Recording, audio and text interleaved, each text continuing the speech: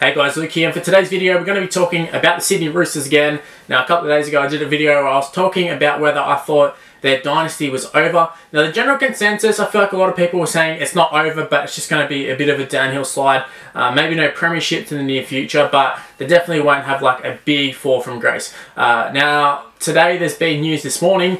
Laurie Daley apparently went on a radio show and he started talking about the fact or what he's hearing. Uh, it's not a fact, it's just like a little rumour, but he said he's hearing, with all of the talks of Kyle Flanagan, I'll talk about that as well, uh, with all the talks of Kyle Flanagan leaving, um, and you know, Kyle Flanagan obviously didn't have the best of seasons, but he definitely wasn't wasn't terrible, I wouldn't say. Um, I feel like he's been made a scapegoat uh, just because he's kind of the only real newbie. Um, because a lot of the other guys in the side were there in the past couple of years where they won back-to-back premierships, but they don't take into account all the injuries and all that sort of stuff. Anyways, I'm, I'm getting off topic here. Uh, what Laurie Daley went onto the radio and said was that he is hearing that the Roosters want Mitchell Pearce back. Um, now, if I'm Mitchell Pearce, I would...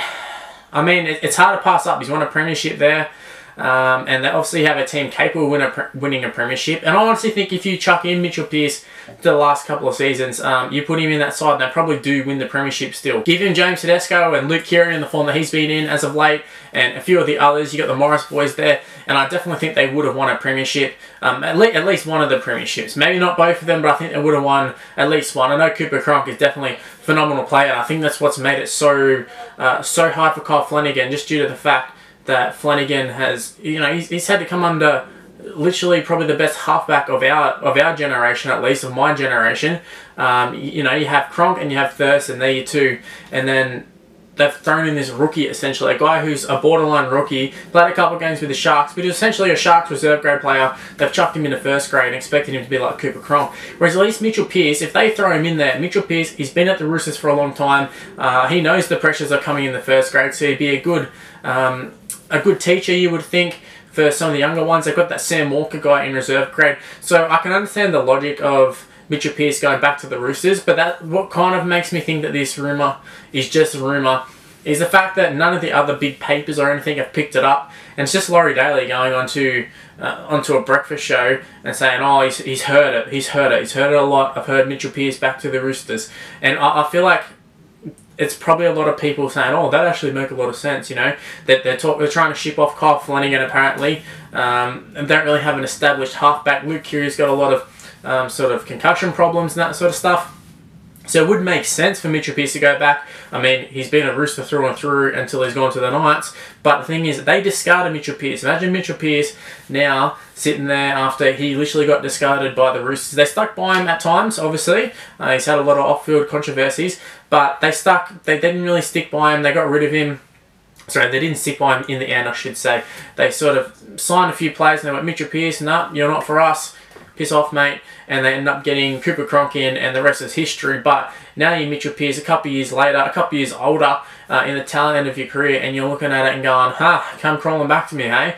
Uh, I, I don't know if I would go back if I was him, but hey, I feel like he's probably more of a chance of winning a premiership with the Roosters than he is with the Knights, to be honest with you.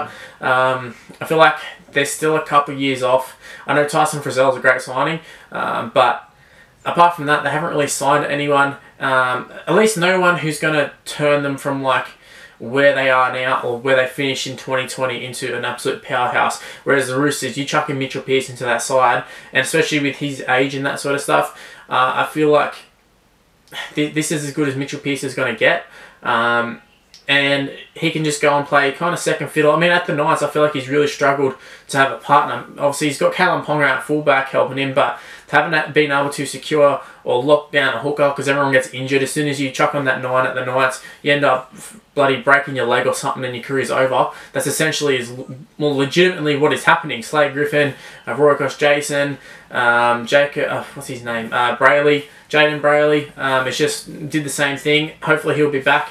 But it, it really is like a cursed position. Kurt Mann probably be next. Uh, but yeah, the 5 position, Kurt Mann was doing a pretty good job with him. But he just hasn't been able to lock down a 5'8". Where he goes to the Roosters, he's going there, he's playing with Luke Keary, who's probably the best 5'8", apart from Jack Wighton. And despite Cody Walker going to be picked New South Wales by the sounds of things. But I really think Luke Keary is the best 5'8 in the comp. Um, so you have that, and then you add in Tedesco and Jake Friend's still there, and a lot of the rookies and Boyd Cordners. like they would have a phenomenal side. And if Bishop Pearce went there, straight up, I'd be like, yeah, would probably win the comp this year. Um, it's just a matter of whether Mitchell Pearce, firstly, if he can get out of his contract. Secondly, does he even want to go? Uh, and third, can the Roosters afford him? I mean, it sounds like a joke saying, can the Roosters afford him? Considering if they want someone nine times out of ten they end up getting them. Like even Tuivasa-Sheck and all them when the Pearce when they left, it was like they wanted them to go. They didn't really care. They had someone else like two of Tuivasa-Sheck left. They brought in Tedesco, so it wasn't really like a, a huge loss. In fact, it, it, wasn't a loss at all. Tedesco ended up becoming probably the best player in the world at this point. So um, it was a good move by the Roosters, and um, yeah, I don't know. Even for the Roosters, I feel like it'd be weird for them to go back to Pearce. It generally doesn't really happen for the Roosters. I've never really seen them go back to someone. Even like Sonny Bill, that was Sonny Bill leaving, like, and he went to a whole nother code. He didn't even go to another NRL team. Um, so that one's a little bit different. I haven't really seen the Roosters sign a player, discard them, and then go back to them. It doesn't seem like a Rooster thing to do. So that's just what makes me think that this whole thing is just like Larry Daley looking at it and going, well, Kyle Flanagan's leaving. The only other real logical one is Mitchell Pearce, like a former Rooster. Um, wants to come back, win a premiership. He's already won a premiership. Like, oh, well, this makes sense. This is a plausible thing to say.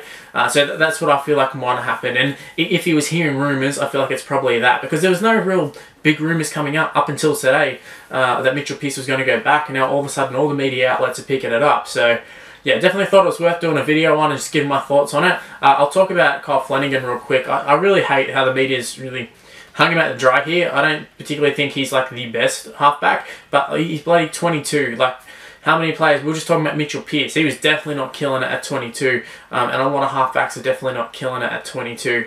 Uh, probably your, your exception is Nathan Cleary. So everyone's going to immediately see that they're both sons of. Uh, well, Flanagan's Shane Flanagan wasn't a player as far as I know, but um, at least in that sort of coaching sort of thing, at least come from a football family, being sort of talked up as juniors, and then just Kyle Flanagan, a step up from reserve grade essentially into first grade, and also it's more so just going from just being at the Sharks, yeah, okay, you're another player, to the Roosters, they're like the glamour club. Um, they're the ones that, you know, going for a 3P, a lot of pressure on him, and also stepping into Cooper Cronk's shoes um, it was def- I feel like there was it was a, a no-win situation for him.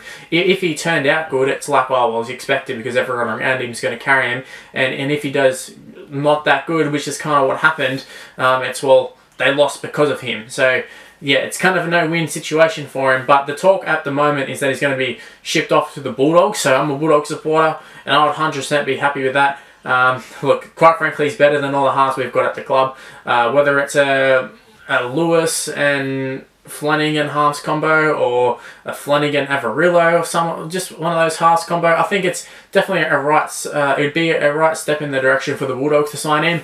Just a matter of whether he actually even wants to leave the Roosters. Nothing like nothing says that he has to leave the Roosters. Um, look, he could stay and fight for his spot. He's up against Lachlan Lamb, uh, Sam Walker, maybe even Mitchell Pearce. Who knows? But uh, just in terms of Kyle Flanagan, I think he'd be a great signing for the Bulldogs. I think the Roosters would regret getting rid of him in a couple of years. I think I think he definitely has potential to be a star half, but uh, I don't know. Maybe the Bulldogs aren't the right move for him in terms of progression, but hey, we'll, we'll see. Maybe it will happen, maybe it won't. Leave in the comments section below. Do you think Kyle Flanagan will end up at the Bulldogs, and do you think Mitchell Pearce will end up at the Roosters? I'd love to hear your thoughts. Personally, I, I can't see the piercing happening. Um, it just seems too I don't know, it just seems too random. Not random, um, that's probably complete opposite. Uh, it just seems like something that just makes sense. So you make a couple of rumors about it and just see where it goes, rather than something that actually has some merit and is actually going to happen. Because um, there's a lot of rumors that definitely do happen, but there's a lot of ones that you can just see people, just a bit of a pipe dream, people just going, oh, well, that would be cool if that happened.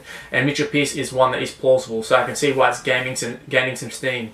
Um, but yeah, the Flanagan one definitely looks like it's the case. Bulldogs have said they've put in an offer, so it's definitely on the cards. So yeah, I suppose people putting two and two together, Flanagan leaving, that leaves a halfback spot, bring home Mitchell Pearce. So it definitely could happen, but uh, yeah, leave in the comment section below what do you think is going to happen.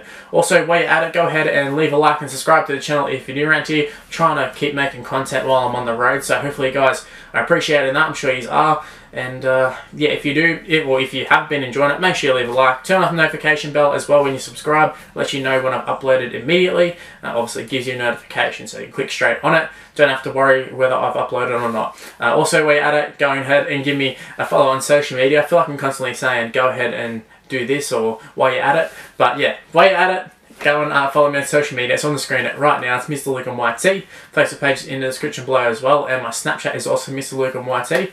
Um, and yeah, that's where I'm going to end the video. Hopefully you did enjoy it. And I'll see you in my next video. Bye guys.